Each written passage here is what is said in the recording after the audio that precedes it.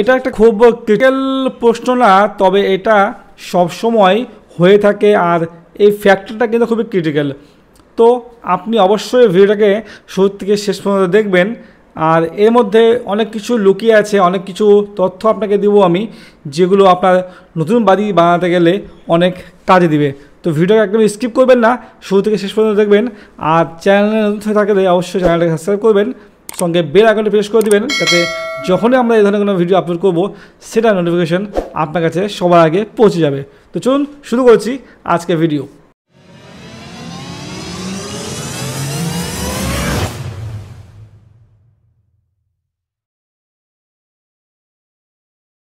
একটা বাড়ি বানাতে গেলে সব থেকে প্রথমে যেটা কোশ্চেন আসে যে টাইবিমটা কোন জায়গায় দেওয়া হবে।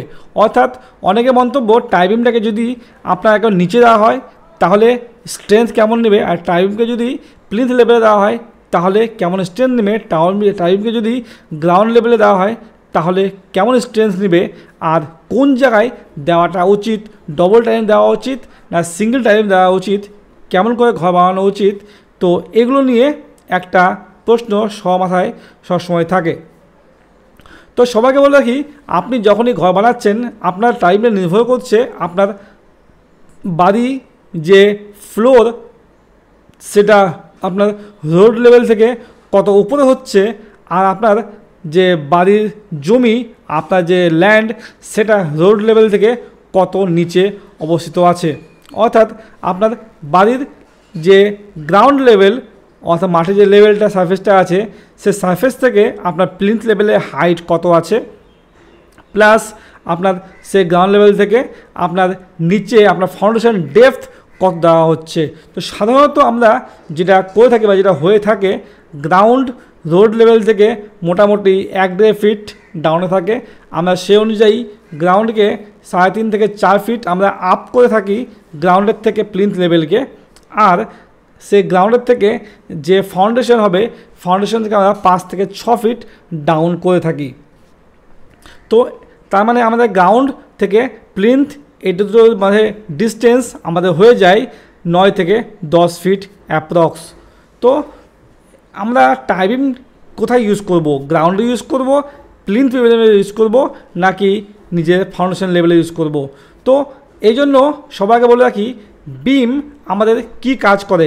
টাইবিম হোক বা আমাদের রুফ, যেটা রুফ বিম হয়, ছাদের সঙ্গে যে বিমটা হয়, সে বিম এই সবগুলো কিন্তু বিমের ফাংশন একটাই।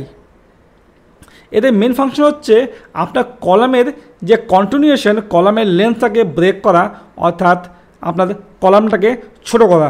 এবার একটা জিনিস আমরা সবসময় জানি যে যখন একটা কাঠি যত লম্বা হবে, সেটা সহজেই ভেঙে যাবে বা ভাঙা যাবে। উপর থেকে লোড পড়লে সহজেই সেটা বেঁকে যায়।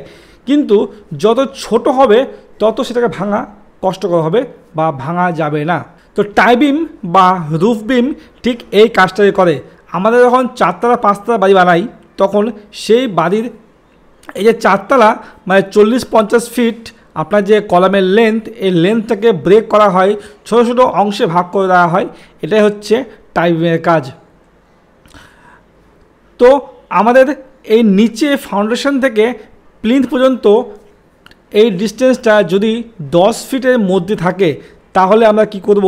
বা এই ডিস্টেন্সটা যদি আমাদের এর থেকে বেশি হয়ে যায় লাইক আপনার যদি ল্যান্ড রোড থেকে পাঁচ, ছয় ফিট ডাউন আছে, আর আপনি তখন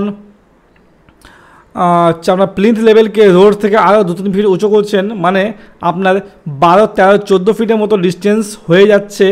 আপনার প্লেন থেকে ফাউন্ডেশন পর্যন্ত, তাহলে আপনার কি কন্ডিশন আসবে? তো কন্ডিশনটা ডিপেন্ড করছে আপনার এই লেন্থের উপরে। তো দু ধরনের কলাম সবসময় আমরা কনসিডার করি। একটা লং কলাম, একটা শর্ট কলাম। লং কলাম হচ্ছে যখনই আপনার এই ডিস্টেন্সটা বারো ফিটের বেশি হয়ে যাচ্ছে, তখন সেটাকে লং কলামে আনা হয়। কিন্তু আমরা বারো ফিট এটাকে করি না, আমরা সবসময় দশ ফিটটাকে কনসিডার করি। তো যখনই আমাদের কলাম দশ ফিট লেন্থ ওভার করবে, তখনই আমরা সেখানে কন্টিনিউশনটাকে ব্রেক করার জন্য একটা বিম প্রোভাইড করব।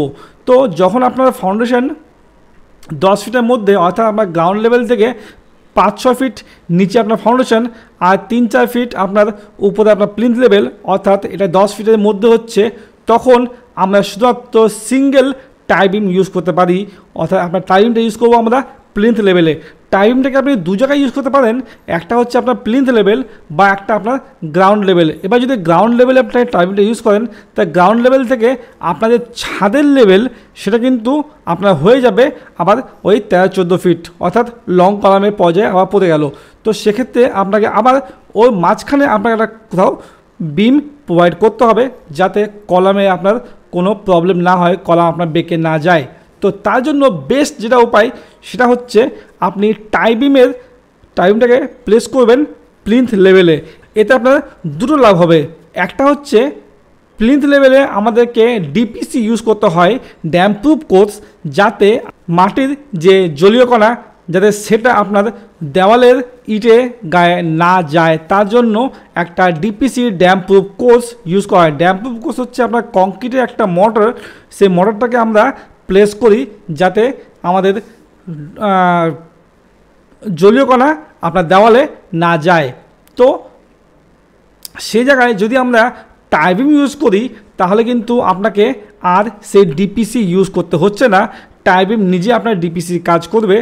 আর সেই জলীয় কণাকে আপনার সুপারস্ট্রাকচার অর্থাৎ উপরের দেওয়ালের মধ্যে যেতে বাধা দিবে। তো সেক্ষেত্রে আপনার ডিপিসির কাজটা টাইবিং করে ফেলছে আর টাইবিংয়ের যেটা মেন নিজের কাজ, আপনার কন্টিনিউশন ব্রেক করে আপনার কলামগুলোকে মজবুত করা, তো সেটাও আপনার টাইপিং করে ফেলবে।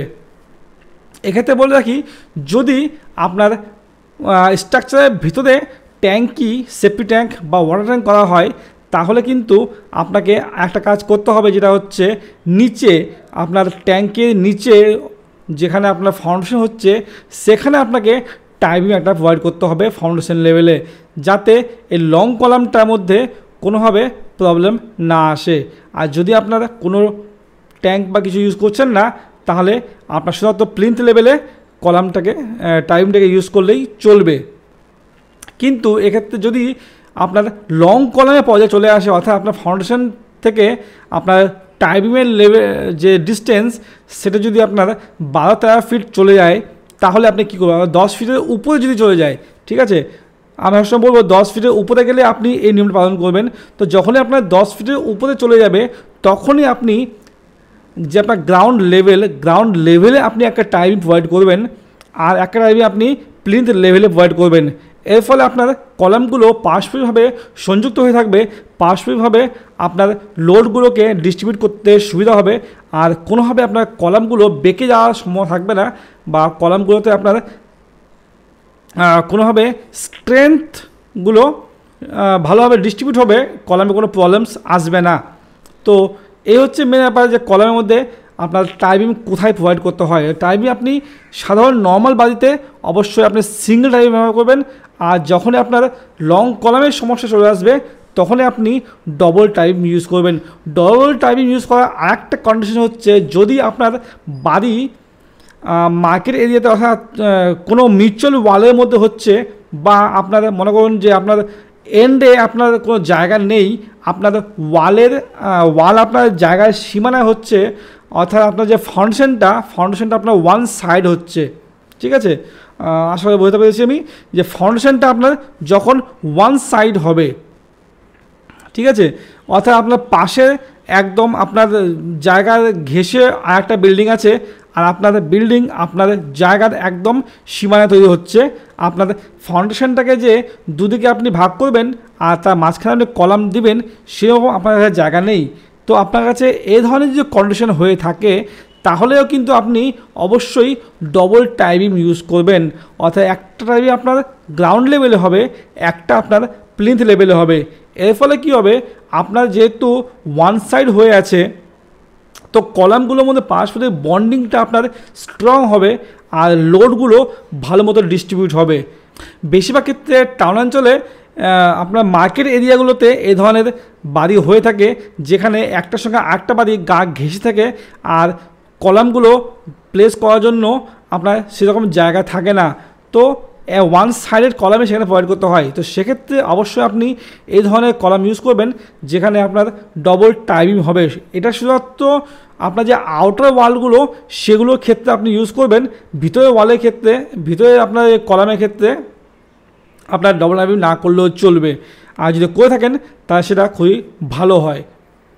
আর লং কলামে যে নিয়মটা আছে, সেক্ষেত্রে কিন্তু আপনাকে সমস্ত কলামগুলোর ক্ষেত্রেই আপনাকে ডবল টাইপিং ইউজ করতে হবে। আর একটা কথা হচ্ছে যে সাইডে যে প্লিন্থ ওয়ালটা হবে প্লিন্থ ওয়াল আপনি যদি ব্রিক ওয়ালের পরিবর্তে কংক্রিট ওয়াল ইউজ করেন, সেটা কিন্তু এখনকার দিনে আপনার দুটো এর লাভ আছে। একটা আপনার বাজেটের দিক থেকে দেখতে গেলে বাজেটটা অনেকটাই কম আসলে খরচা আপনার কংক্রিট ওয়ালে কম হয়। সেকেন্ডলি আপনার স্ট্রেংথও ওর মধ্যে বেশি। আর আরেকটা পয়েন্ট হচ্ছে যে ড্যাম্পনেসের চান্সটাও কম থাকে। আপনার যে জলীয় কণাটাকে উপরে যে যে শোষণ করে নিয়ে ড্যাম্প করে, যে কাজটা ইট করে, সে কাজটা কিন্তু ঢালাই হয় না। তো আপনি অবশ্যই ঢালাই ইউজ করতে পারেন প্লিন্থ ওয়াল হিসাবে। আর সেটা শুধুমাত্র আউটার ওয়ালেই প্রযোজ্য। আপনি ভিতরের ওয়ালগুলোতে যদি প্রিন্ট ওয়াল না দেন, কোনো সমস্যা নেই। ভিতরের ওয়ালগুলো আপনার নর্মাল ওয়াল হয়ে থাকবে আর সেখানে আপনি মাটি ভরে দিয়ে সেখানে হচ্ছে আপনি পিসি করে ফ্লোরটাকে তৈরি করতে পারবেন। তো এই ছিল আজকের টিপস আপনার টাইবিম নিয়ে টাইবিম আপনার কোন জায়গায় লাগাতে হবে। আশা করি ভিডিওটা ইনফরমেটিভ হয়েছে। যদি ভালো হয়ে থাকে, অবশ্যই একটা লাইক করবেন আর কমেন্টে জানাবেন। যদি আপনার কোনো কোয়ালিস থাকে এই ধরনের ভিডিও দেখতে হলে আমাদের চ্যানেলটিকে সাবস্ক্রাইব করে নেবেন আর বেল আইকনটি প্রেস করে নেবেন যাতে যখন আমরা এই ধরনের ভিডিও আপলোড করব, তখন সেটা নোটিফিকেশন আপনার কাছে পৌঁছে যায়। তো আবার দেখা হচ্ছে নতুন একটা ভিডিওতে নতুন কিছু টপিকের সঙ্গে। ততদিন ভালো থাকবেন, সুস্থ থাকবেন।